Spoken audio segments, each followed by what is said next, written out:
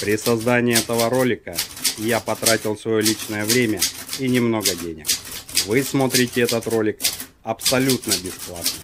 Я не прошу у вас ни копейки. Но вы можете поддержать мой канал подпиской, лайком и комментарием.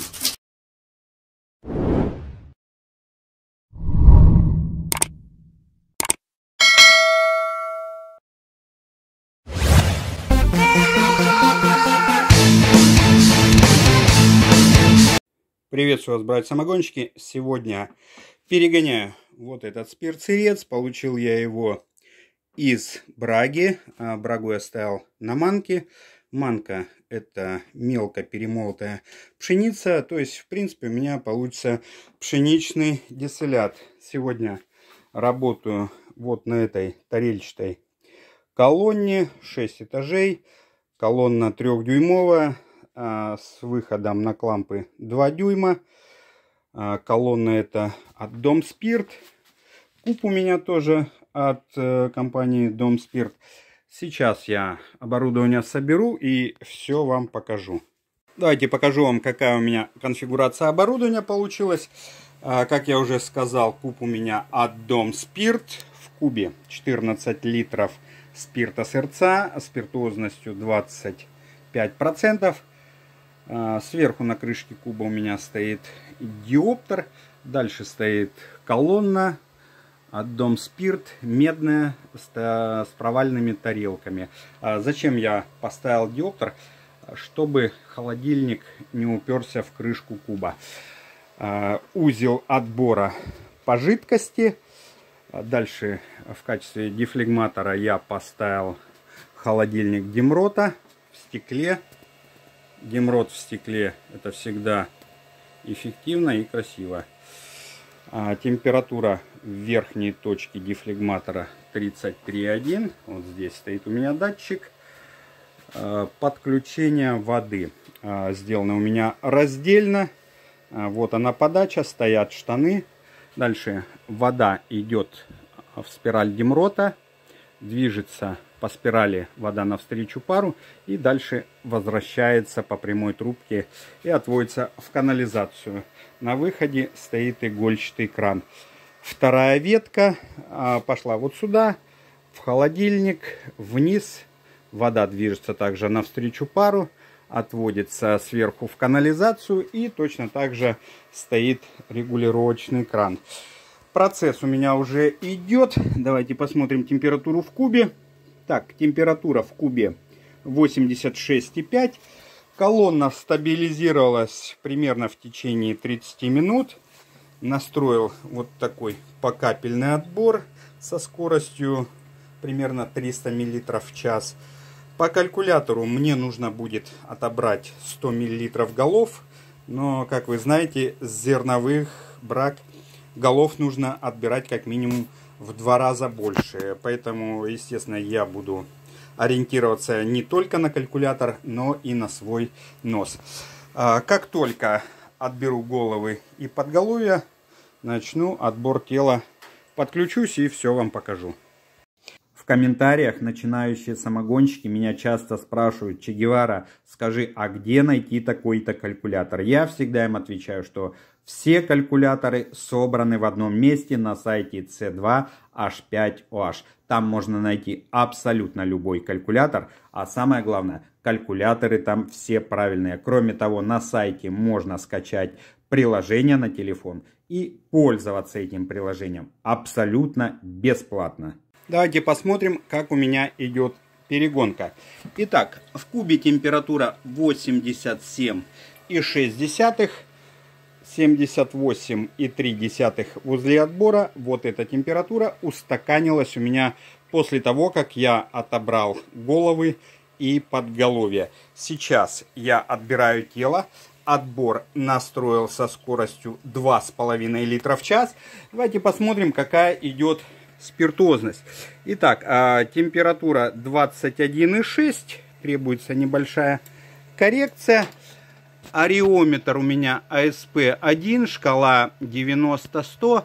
Ну и, как видите, показывает 90 с небольшим. Ну вот с учетом коррекции, это как раз таки и будет 92. А, сейчас отбираю тело. Тело я буду отбирать до 94 в кубе. А, кстати, а, с колонной Дом Спирт очень легко и удобно ориентироваться, когда же, наконец, настанет конец погона. Как только дело пойдет к концу погона, нижние стекла начнут запотевать. И как только у меня запотеет три нижних стекла, это как раз таки и будет температура примерно 94, ну 95, плюс-минус.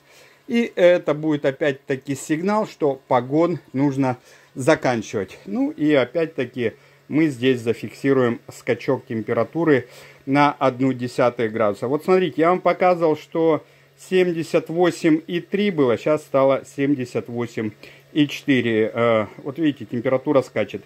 То есть я уже много раз э, про этот эффект говорил.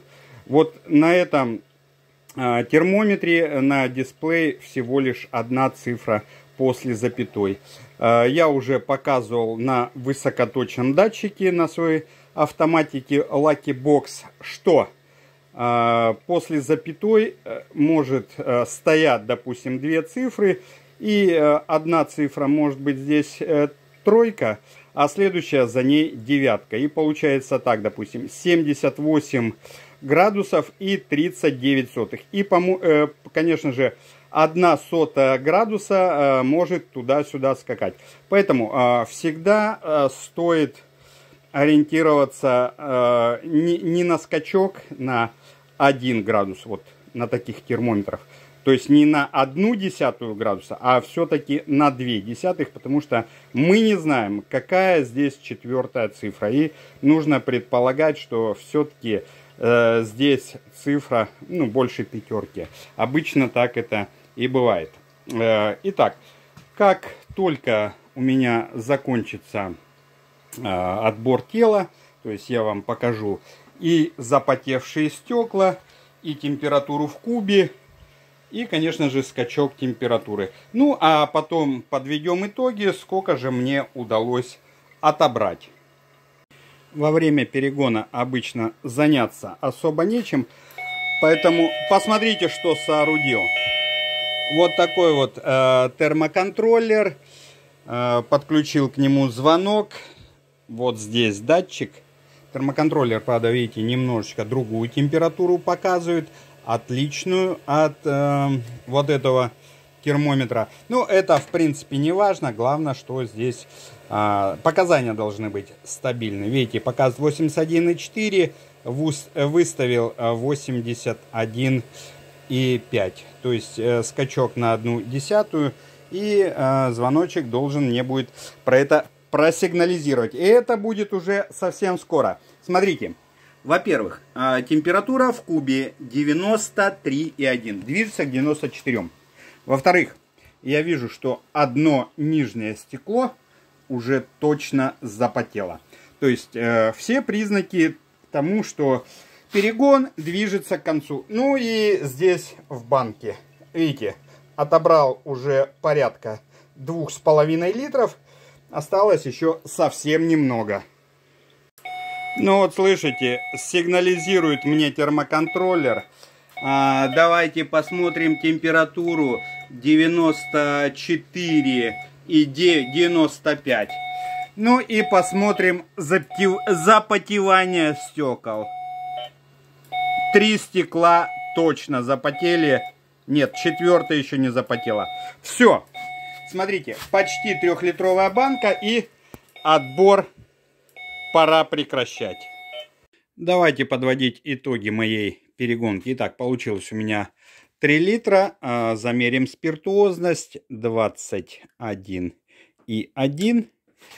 И ареометр показывает с учетом коррекции 91 и 5. А, вот такие вот результаты. Я разведу вот этот дистиллят до питьевой крепости в 40%. Недельку у меня он постоит, а потом я с вами его продегустирую. А пока, брать самогончики, на этом все. Как всегда, ни голов и ни хвостов, чтобы не был на сцене. Всем добра, скоро увидимся.